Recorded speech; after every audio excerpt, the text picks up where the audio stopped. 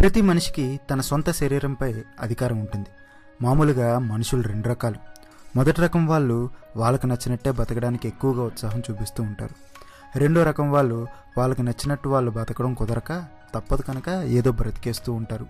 ఇప్పుడు మనం మాట్లాడుకునేది మొదటి రకం గురించి. వాళ్ళు బేసిక్గా తమకు నచ్చినట్టే బతుకుతారు.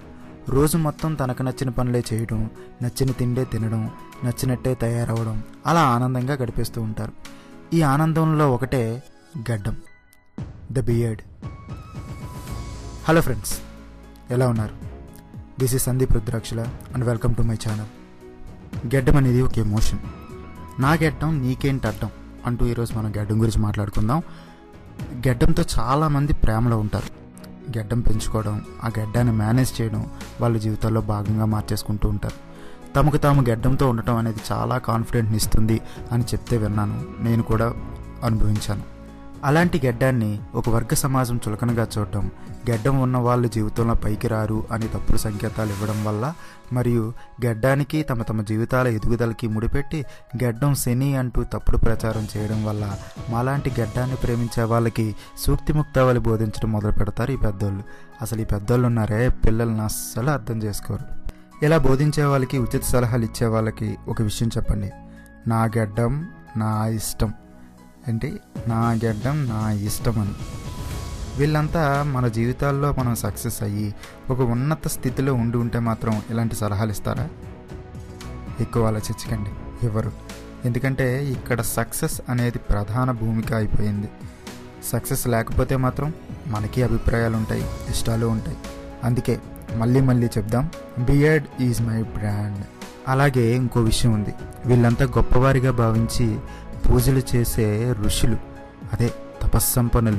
వీళ్ళు కూడా పెద్ద పెద్ద గడ్డాలతో ఉంటారు కదా. ఎందుకు? అలా ఉంటే మంచి జ్ఞానం ఉన్నవాళ్ళు అని అంటారు కదా.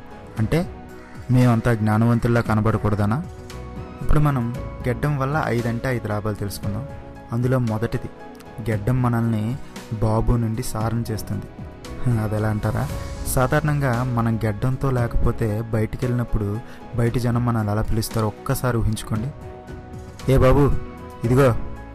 ఓయ్ తమ్ముడు. ఇలా చాలా పేర్లే ఉంటాయి. అదే నువ్వు ఒక్కసారి మూతి నిండా గడ్డం పెంచుకొని రోడ్డు మీదకి వెళ్తే ఏం కావాలి సార్? అది సార్ ఇది సార్ అంటూ మన గౌరవాన్ని పెంచేస్తుంది గడ్డం. ఇక రెండోది గడ్డం మనకి మాట్లాడే ధైర్యాన్ని ఇస్తుంది అవును. ఎప్పుడైనా ఎక్కడైనా ఏదైనా గొడవ అవుతుంటే నీకు గెడ్డం లేనప్పుడు నువ్వు చెప్పేది అస్సలు పట్టించుకోరు. చిన్నపిల్లడు అని తీసి పడేస్తారు. అదే నువ్వు గెడ్డంతో ఉంటే నీకు తెలియని పెద్దరికం వస్తుంది. అసలు నువ్వేం చెప్తున్నావో అందరూ వింటారు.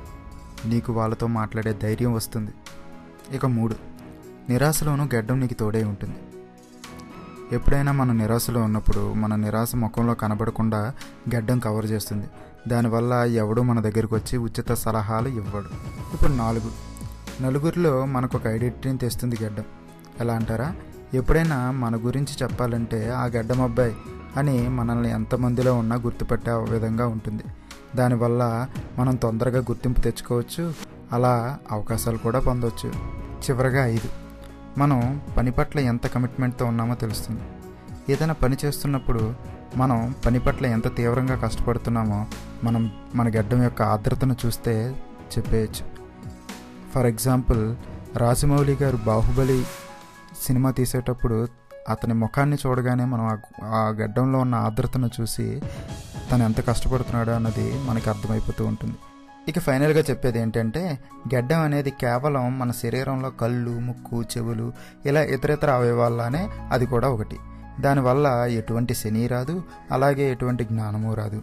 కానీ మన శరీర అవయవాలను మనం ప్రేమించుకోవడం అనేది ఎంత సహజం?